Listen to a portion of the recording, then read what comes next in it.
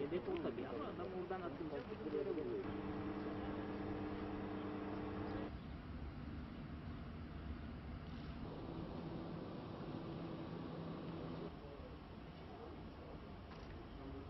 Çok büyük.